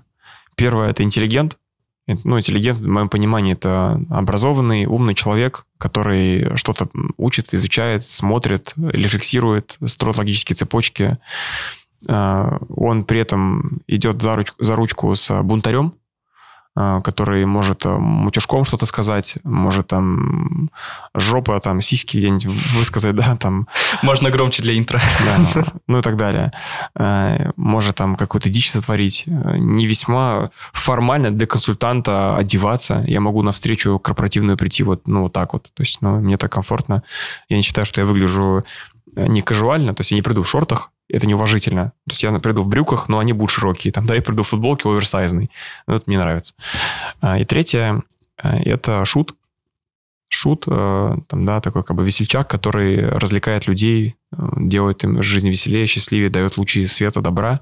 И вот эта вот э, комбинация шута, интеллигента и бунтаря, она вот для меня что-то про меня нашла. А тяжело было докопаться до этих граней? Они всегда были во мне. А, прикол Осознать. А, знаешь, что было тяжело? Было не тяжело, было не, не очевидно а, понять, что то, что эти три вещи с рождения были во мне, и было неочевидно, что то, что я всю жизнь считал своим проклятием, каличностью, неадекватностью, от которой нужно избавиться, является моей суперсилой. Я всегда стеснялся того, что я в школе ботан. Я всегда стеснялся мотягнуться перед взрослыми людьми или что-нибудь там сотворить эдакую дичь, что типа стыдно будет. И я всегда э, стеснялся быть смешным. При этом очень хотел это делать. И завидовал тем, кто на сцене шутит, типа стендап-комиков. Прям я с восхищением смотрел на их карьеры и думаю, блин, вот это, конечно, Нурлан Сабуров. Великий человек. Да. Да, мне даже вот недавно, там, год назад познакомился с Димой Романовым, да, то есть, э, который комик, да, да Дим, Дима потрясающий, интеллигентный парень, невероятно образованный, и вот мы с ним встретились э, у Миши Дашкиева на мастер-манде в Баку, и мы с ним на ужине сидели, болтали от лавочки. Я даже помню свое состояние. Дим, привет, если ты смотришь это видео. И там, ну, как я думаю, что я в тот момент больше него уже зарабатывал. То есть я как предприниматель был состоятельный, более успешный. А, он стендап-комик, очень успешный, но коммерчески не так, как я своим бизнесом. И он такой, Миш, там, советы что там бизнес забирали. И я прям потом пришел вечером и сказал, Кать, я говорю, с Димой Романовым говорю, разговаривал. Прикинь, говорю, я вчера его на телеке смотрел, а тут мы с ним просто за руку сидел, дружил. Она говорит, что там? устроил. То есть у меня реально, то есть я настолько восхищаюсь этими людьми, которые умеют собирать тысячные залы, веселить людей, создавать смех. Но для меня это космос вообще, конечно, что они творят. Мне, кстати, тоже Дима Романов очень нравился, когда я смотрел по ТНТ. Да. Дима невероятно крутой чувак. Ну и другие ребята, то есть там и Ваня Абрамов, там и Нурлан, там и Макар, и там Би, и все эти ребята из ЧБД. Ну, то есть я понимаю, что многие там, ну, ЧБД это в чистом свете, это же бунтарство, да, там максимально. Полное. Да, бунтарство в канале, но при этом понятно же, что люди не могут так шутить и так держаться, не будучи образованными интеллигентами. Ну, то есть какая интеллектуальная мощь сформулирована в Тамби, там, да, невероятная насколько на самом деле не глупый парень Щербаков, насколько это не просто выглядеть дебилом да, на сцене, при, ну, то есть при этом быть умным. И в этом-то вся и фишка. То есть как это самое клоуном, настоящим клоуном может быть только очень умный человек. Интеллигентный был Юрий Никулин, невероятно же интеллигентный, умный парень. Мужик, да, там какие его там анекдоты он сочинял невероятные. Это надо иметь большой ум. Ты, кстати, часто смотрел ЧБД? Все выпуски? Ну, до недавнего времени, да, пока не из Ютуба не ушли. Там я вот недавно посмотрел пару выпусков на ВК, ну, что-то не очень зашло уже мне. Но вот да, первый этап как космический. Интересно, ты... Я был жуткий фанатом ЧБД. Я почти все выпуски легендарные смотрел и по два раза. Примерял э, ли ты себя в качестве гостя? То есть представлял, как бы, как бы ты реагировал да, на шутки да. Щербакова? А, там, это пиковый момент был, когда они позвали Даву. Да. Потому что Дава — это Давид Мунукян из бальных танцев. Это парень, с которым мы конкурировали на одном паркете. А, он даже за бальными танцами, и он, я ни разу у него не выиграл ни один турнир, он все время меня обходил, и для меня Дань, э, Дава был, Давид, большой звездой, э, где прям мне сердце чаще билось, когда я знал, что мы сегодня будем с ним конкурировать. И потом, когда я, Дава, Дава, Дава, я такой, что за Дава? Типа, мне говорит, это же Давид Мунукян. Я такой, да ладно, это он, что ли? То есть я помню, что он там танцевал там с Каролиной Маевской, там, да, такими девчонками. И он пришел, съел, ну, как бы, просто когда садится на стул человек не из твоего мира, да, это смотришь как шоу. Но для меня, как бы, Дава, он имеет там маленькую ниточку с реальностью, в которой я тоже был.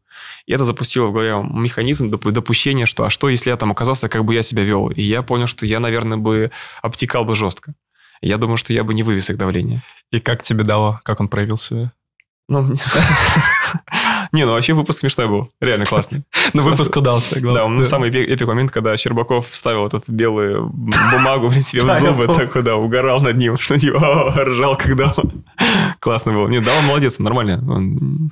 Конечно, было непросто, ему видно было, но он умничка, ну, продержался. А возвращаясь к этим граням, к трем граням, которые да. ты определил, ты начал ли ты их сильнее как-то проявлять, когда ты их четко сформулировал для себя?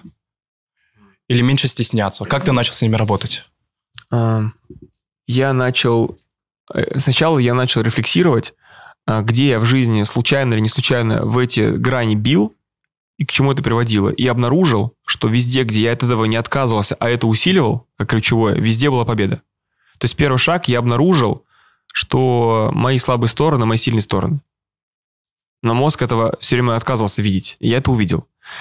Это вызвало вторым шагом огромное любопытство и, созда... и желание сделать попытку где-то специально ну, экспрессивно это подсветить. И этим стали разборы.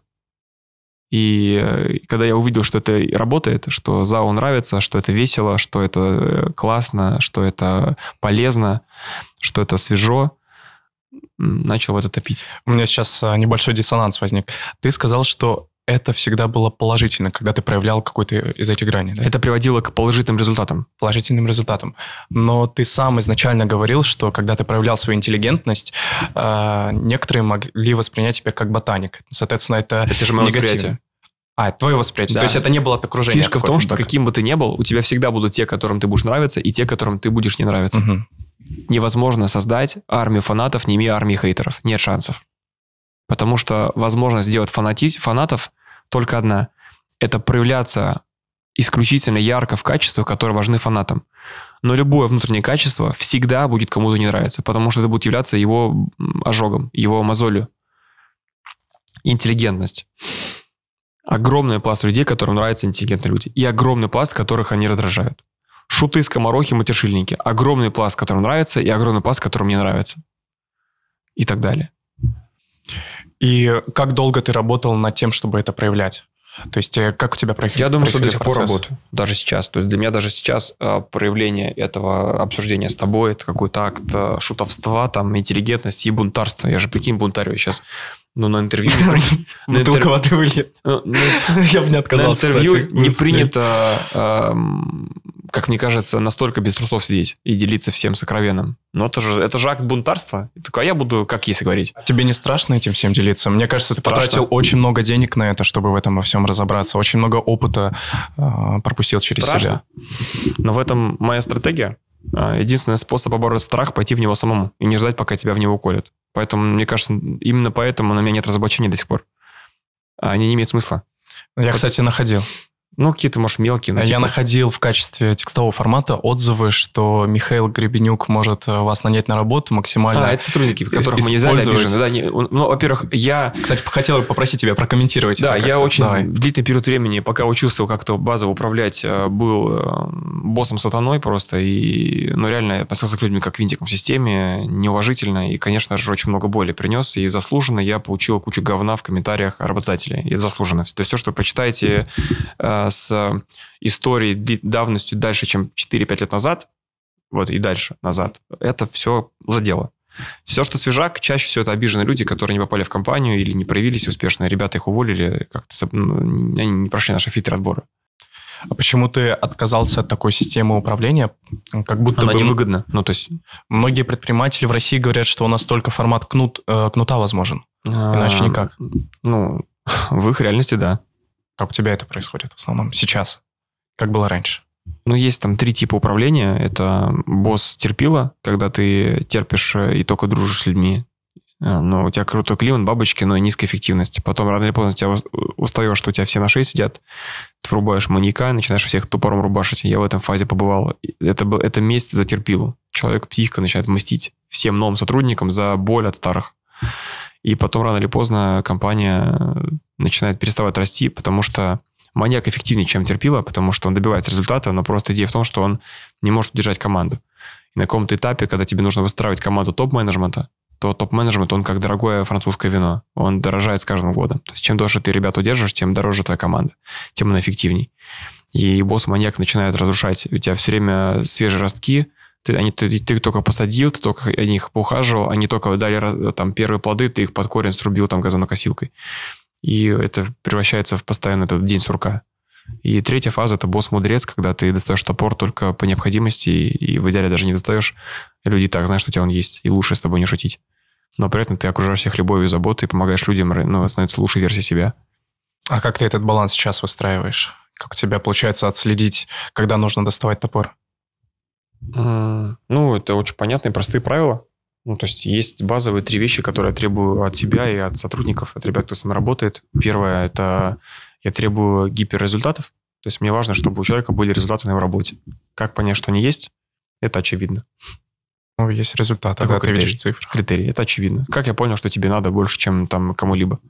Ну, наверное, писал много. Это очевидно. Запрос формулировал. Просто очевидно. Ну, типа, ты так проявляешься, что это очевидно. А, второе – это а, динамика. Надо, чтобы люди... Можем на первом пункте.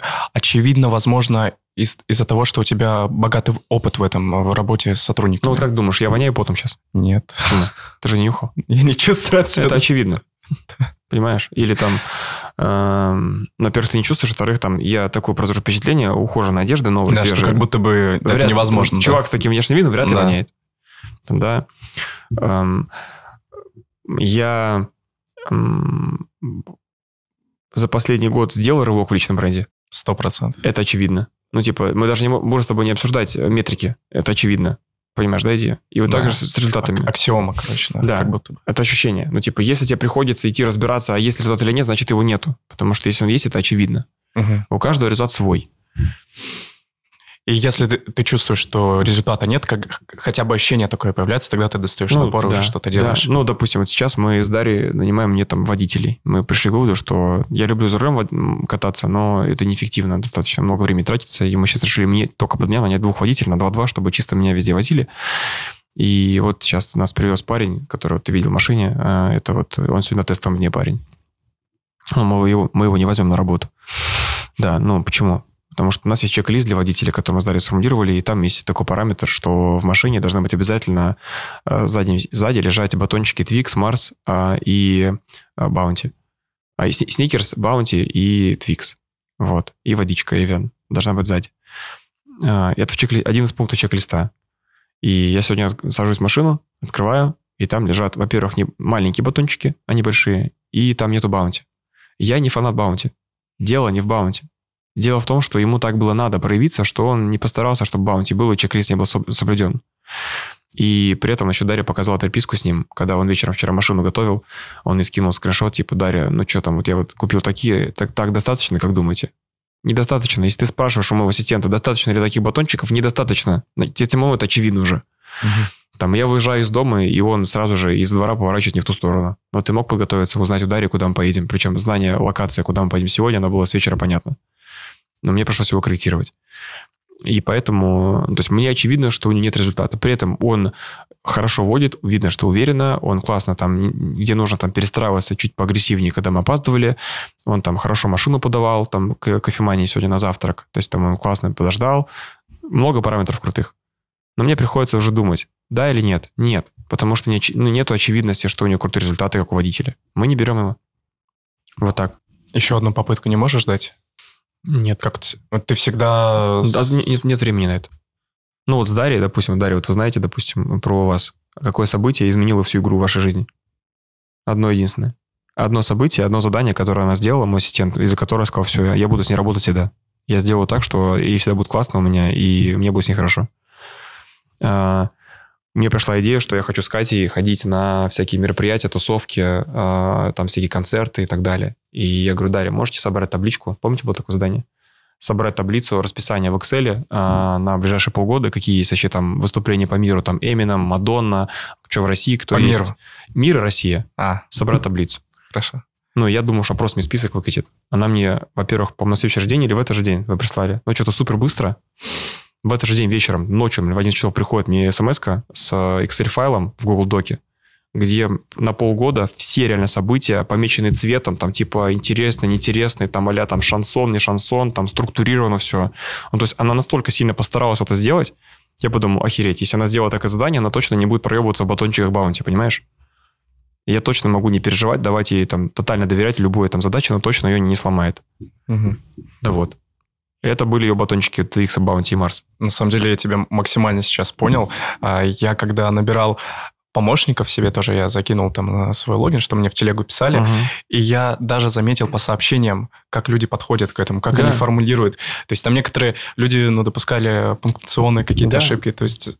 Все, нет, сразу. Сразу нет, да. А люди не понимают, почему нет из-за этого. Я нет. не работаю а, корпоративным университетом по воспитанию молодежи о том, как быть классным сотрудником. Это не моя работа. Моя работа делать успешный бизнес. И для этого я хочу работать с теми, кто уже готов к этому.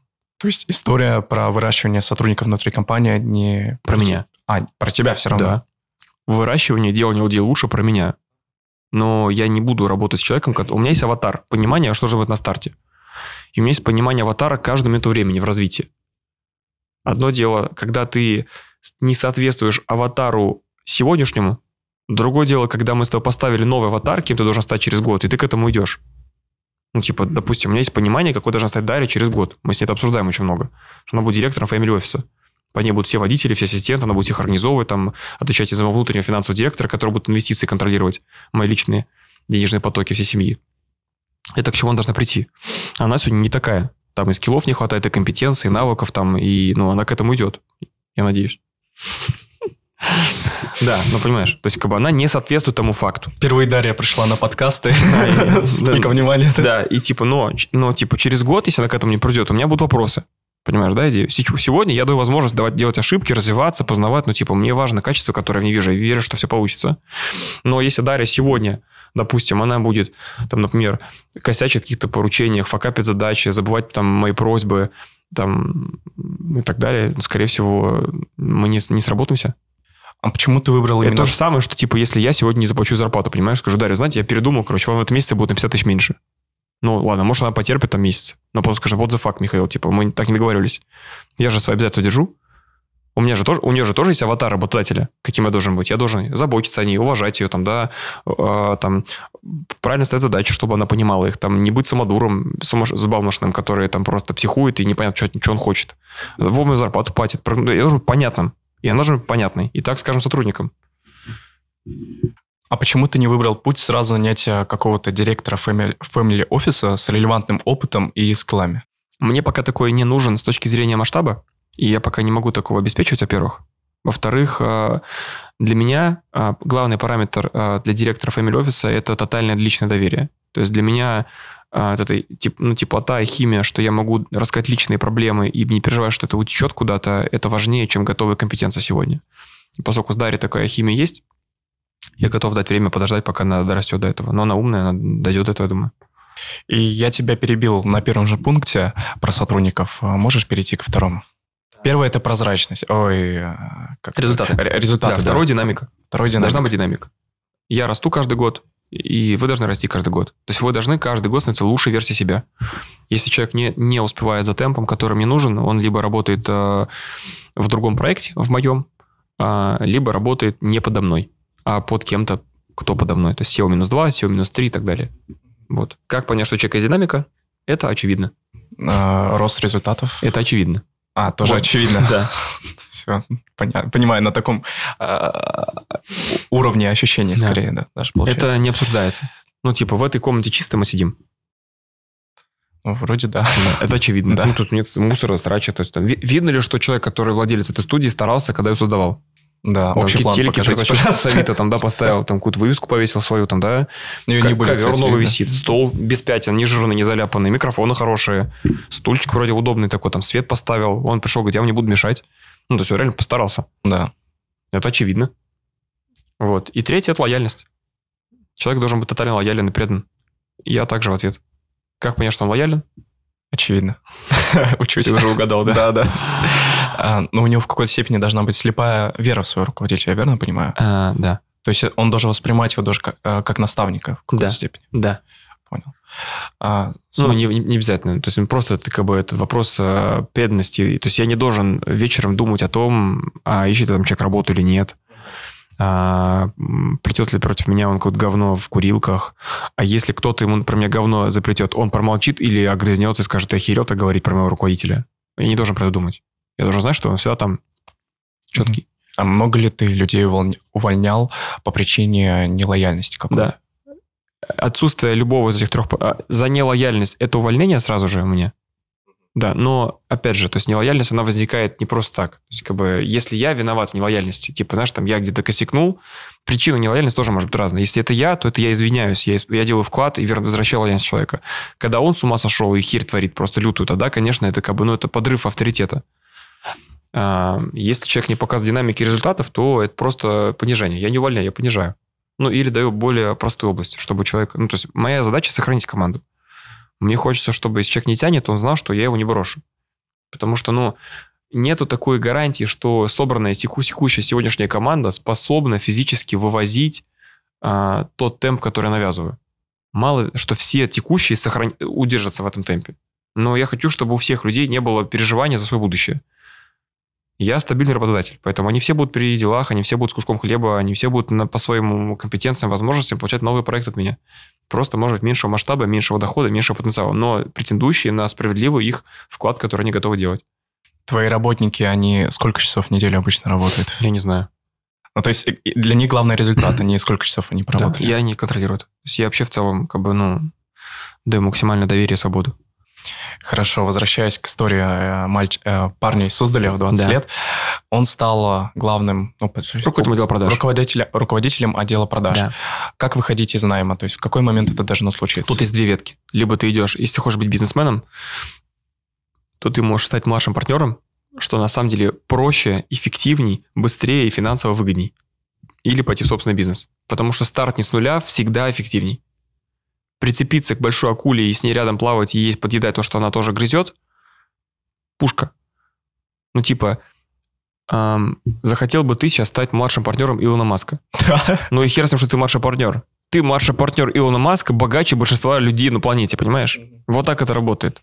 Тут вопрос, как бы эго срабатывает. А почему, если ты так очевидно отвечаешь про Илона Маска, почему мужик, который зарабатывает 5 или 10 миллионов в месяц чистой прибыли уже, и он тебя старше на 15 лет, не может быть твоим как бы этим э, паровозом, когда ты из Суздали, тебе 20. Да охерительный Илон Маск. Это твой Илон Маск из Жулебина, понимаешь? Ну, возникает ощущение, что ты будешь работать с ним на каком-то... Ну, у тебя будет какое-то свое дело, да, у него будет большая часть процента от прибыли с этого да. дела, но как потом из этой истории выходить? Какая твоя цель? Ты хочешь денег заработать или ты хочешь эго утешить?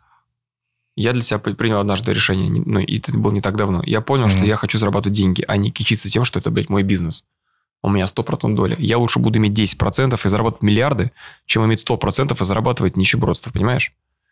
И большинство подростков это не понимает, им хочется свое. И поэтому они вот свое и без денег сидят. А иметь 5% с олигархом – это космические бабки. Ты самый богатый в своем Суздале сразу автоматом становишься.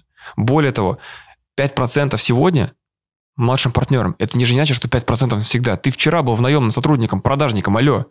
Ты стал партнером вкалывай еще три года, у тебя будет 15%, потом 30%, ну там масштаб будет меняться. Если мы говорим исключительно про финансовую состоятельность и про динамику роста денег, личного дохода, это самый эффективный путь. И дальше, если тебе уж хочется для эго что-то более ответственное, ты всегда можешь прийти и сказать, я всегда был предан и верен, я им останусь. Можем ли мы обсудить, у меня есть такая вот внутренняя хотелка, я бы хотел какой-то проект, где я могу быть, вот, лидировать. Мне бы хотелось это. Можем ли мы какой-то новый бизнес с нуля создать? В этом поставим SEO, все, пускай работает, там передоговоримся, может, даже подалим за, за то, что я выхожу, потому что все равно у меня доля за то, что я должен был лидировать проект. Чаще всего так будет. Но в этом новом бизнесе, допустим, мы будем уже там 51 на 49, я буду старшим. И вы видели, что я порядочный все 5 лет был. Я никуда не денусь. Для меня это, просто такая вот внутренняя вот амбиция человеческая. А почему после такого пятилетнего опыта уже в таком случае не, не делать что самостоятельно? Да можно делать свое самостоятельно, конечно. Еще раз, какая цель? Заработать деньги. Я считаю, что в партнерстве с масштабным предпринимателем денег будет больше, чем самостоятельно. Ты бы сам смог бы работать в таком формате? Я в таком работаю. Мой второй бизнес, я младший партнер. Но при этом у тебя есть а, деятельность, где ты... Ну, есть результаты. Да, главное. Ну, как бы эти две компании приносят мне одинаковую чистую прибыль. Более того, сейчас новые проекты, в которые мы со... я запускаю с нуля. Новые. Я пригласил туда своего этого партнера, Юлю, и я дал ей там большую долю. То есть я придумал проект, позвал ее туда и сделал себя миноритарным. Потому что я знаю, что когда я с Юлей, я больше зарабатываю. Хорошо. А, мы запускаем компанию. Да. А, возможно. Или если уж тогда есть желание, прям, ну, совсем уже там, ну, под языком тянет, хочется прям совсем собственный бизнес, прям, что да. вот я сам эго сам, эго, эго там все, не, эго победило во всех фронтах, но тогда самое главное, это остаться порядочным человеком и правильно уйти. И идеальная картина – выйти тогда так из найма в собственный бизнес, чтобы этот человек остался твоим наставником потому что он уже построил твой бизнес. Это самый человек... Почему это выгодно сделать наставником на текущем этапе точно? Потому что этот человек видел всю твою трансформацию, он уже тебя знает как облупленного, он знает потенциально все ошибки, которые ты совершишь, у него уже есть успешный опыт бизнеса, у тебя уже с ним есть определенный вклад в него, за который ты можешь попросить менторскую поддержку. У него есть ресурсы и доверие к тебе как личности, то значит, скорее всего, ты можешь получить у него связи, деньги, там, инвестиции, ну, там, какие-то подсказки, советы. Поэтому я бы точно выходил и делал бы из него своего ментора. И я пришел бы сказал, там, Семен Евгеньевич, я вот очень вас уважаю, у меня вот с детства была амбиция, собственный бизнес хотел иметь, вот мне 24 года, я бы там 23 года, я бы хотел собственную компанию, вы мне простите, эго э, жопу сожгло, хочу собственный бизнес без партнерства с кем-либо, с вами ни с кем. Если вдруг там есть какие-то идеи, готов на младшее ваше партнерство с удовольствием обсудить, если для вас это приемлемо. Но если нет, все понимаю, очень хочу. Скажите, пожалуйста, как бы я мог правильно выйти из этой компании, правильно передать дела, чтобы это было для вас выгодно, а не, а не просто безболезненно, а выгодно. И могу ли я как-то так, какой я могу вклад сейчас сделать в вашей жизни, чтобы выйти из вашей компании, вы стали моим наставником? Вот если так поговорить, пушка будет.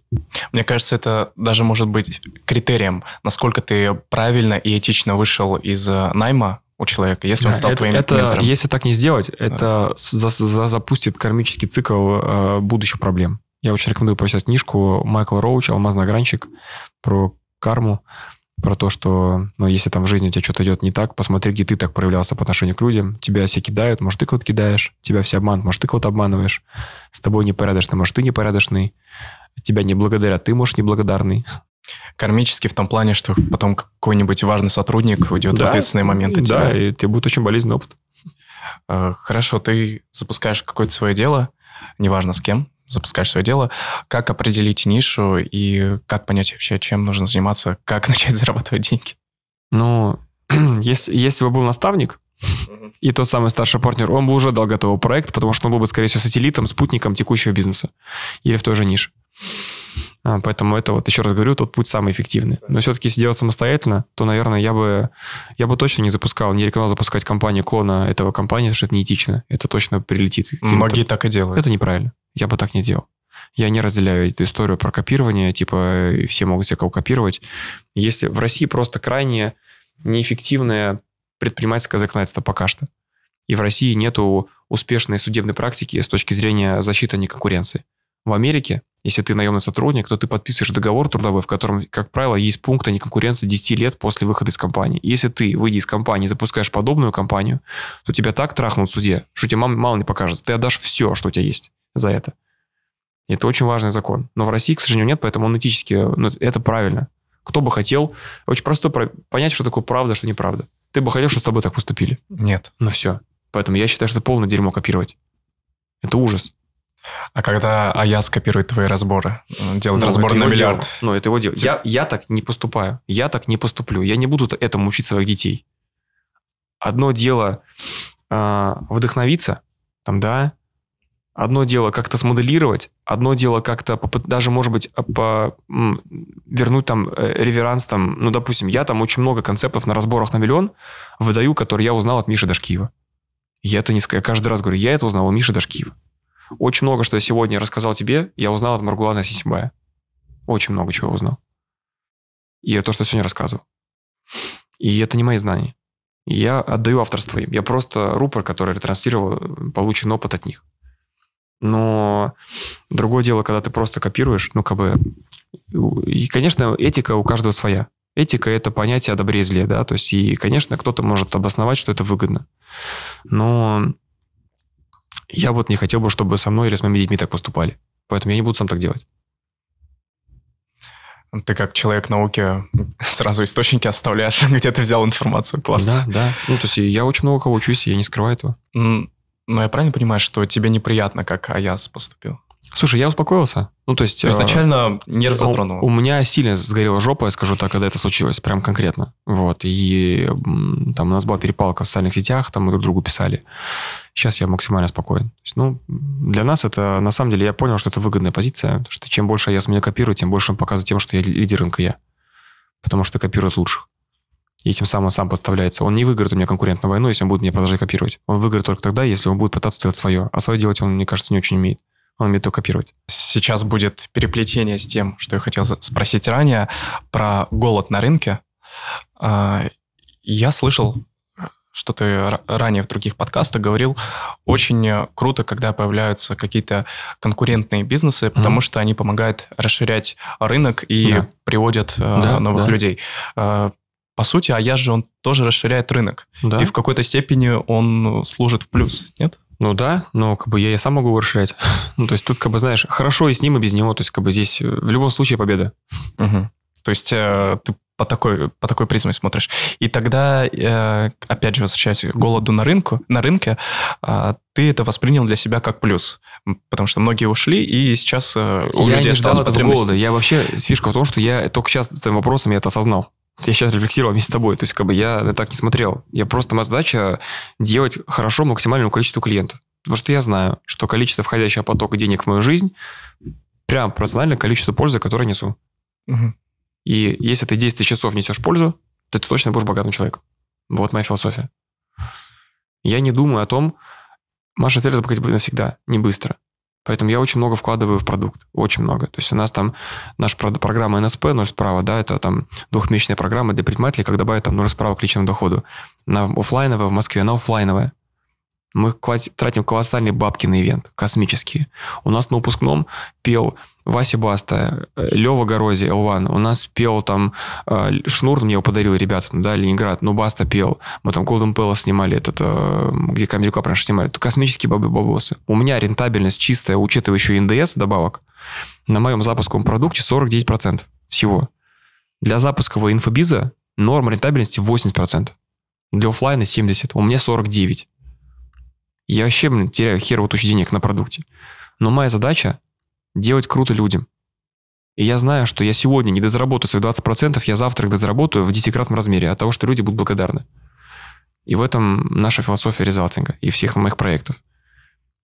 Моя задача, вот у Мурглана, а, я у него сейчас в личном наставничестве, вот а, у Сисибая. Который... Я, кстати, как раз у тебя хотел спросить, кто да. твой ментор сейчас. Ну, сейчас, да, это Мургулан, очень прям плотно мы с ним взаимодействуем. Я прям в личный коучинг к нему зашел. Прям... Стоит ожидать подкаст с Мургуланом? Да, я думаю, что мы сделаем. Вот. А, и у нас будет с ним казахские разборы на миллион. Может, уже вышли эту публикации. Вот я в Казахстан в, в, ноябре мы летим. В ноябре у нас будут съемки, дай, даст Бог, получится. Мы снимем казахов. У нас будет Казахстан Эдишн. С Маргуан на сцене будем разбирать вместе. Он невероятно масштабный человек, невероятный ментор, учитель. Просто Маргуан Калич, вам здоровья и всех благ. И вот одна из э, идей, которую мне рассказал при одной из первых встреч, вообще фантастическая. Он говорит, я люблю играть в шахматы, и у меня есть э, мой визависки, там, с которым я играю, это там чемпион по шахматам Казахстана. И он говорит, как ты, говорит, Маргуан, игр, играешь шахматы? Он говорит, я пытаюсь там считать ходы вперед. А, а ты как? Он говорит, а я не так играю. Гроссмейстером говорит. Он говорит, я не думаю про ходы вперед. Я думаю об одном. У каждой фигуры на поле есть количество полей, которые оно покрывает. Там слон по диагонали бьет, черно-белый, ферзь во все стороны, ладья там по вертикали и горизонтали. Там король вообще на одну клеточку только по кругу может, пешка в диагонали на одну клеточку. То есть, по факту, у каждой фигуры есть свой потенциал покрытия полей. Полей у нас 8 на 8, да, 64 поля. И, э, говорит, моя задача, он говорит ему, каждый ход я только об одном думаю. Как я могу сделать сейчас следующий ход, чтобы мои фигуры покрывали своей атакой наибольшее количество полей? Это единственное, о чем я думаю. Я каждым следующим ходом усиливаю количество атакованных полей. Тем самым я с каждым секундой усиливаю давление на тебя. И рано или поздно твой позвоночник ломается. Я тебе ломаю хребет тем, что твое давление, не, твоя фигура не выдержит мое давление. Я назвал это суперпозицией. Суперпозиция в шахматах – это когда твои фигуры покрывают наибольшее количество полей противника. Ну и, и на поле. И вот в жизни э, это же более сложные шахматы. Каждое наше действие, каждое наше слово, каждое наше бездействие является вкладом в нашу суперпозицию. Ты скопировал, в моменте заработал. Ну, люди поржали. Ха-ха, бугага, скопировал. На самом деле, а я подставился, скопировав мои разборы. Люди начали писать, Миша, прикольно, тебя копирует лидер рынка по выручке. По выручкам больше нас, но копируют лучших. Сейчас суперпозиция только что усилилась, моя.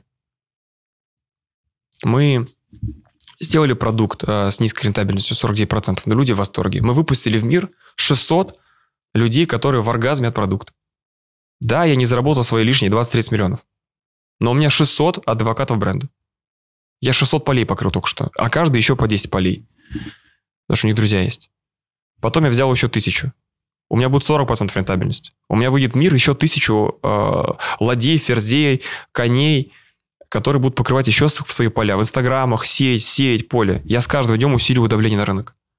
Это все, чем я занимаюсь. Каждый мой подкаст здесь, я выкладываюсь на тысячу процентов, потому что это еще одно поле, которое я сегодня покрыл, твой YouTube-канал. Завтра еще одно будет поле покрываться. Ну, просто там, если уже YouTube-канал маленький, там мы не идем, потому что надо эффективно время использовать, да, и там я могу покрыть одно поле, могу там с твоим каналом охватом уже покрыть там 20 полей или 40 полей. Плюс тебе очень надо, я знаю, что если интервью очень важно, и надо крутое интервью получить, то оно точно будет ну, классное по химии. Вот. Сотрудников качивать, удерживать, не терять, да. Каждый новый сотрудник, каждый сотрудник компании, отработавший в команде больше года, плюс 10 полей, которым покрывает, ты покрываешь в мире. Я со всех сторон усиливаю суперпозицию. И рано или поздно я просто переломаю хребет всем конкурентам и сделаю счастливыми тысячи клиентов. Я еще заметил очень важную особенность у тебя. Ты на любое событие смотришь через положительную призму. То есть думаешь о том, как положительно это на тебя повлияло. Да, это же огромная возможность. Любое событие, оно нейтрально. Любое событие нейтрально, потому что оно меняет баланс интересов в мире. И в баланс... Это, кстати, Маргуана концепция, это он мне рассказал. Он говорит, вот, а, любое событие меняет баланс интересов. Любое событие, происходящее в мире, оно нейтрально. ЦБ поднял ставку, ключевую ставку финансирования. Нейтральное событие. Но оно изменило баланс интересов. Кто проиграл, кто выиграл. Автоматом, можно подумать, да?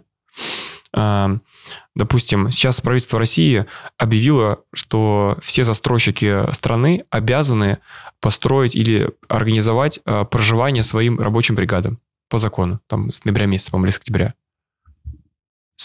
Кому повезло? плохо кому? Застройщикам, хорошо кому? Всем, кто работает на стройке, все приезжие, кто там, ну, наемные работники.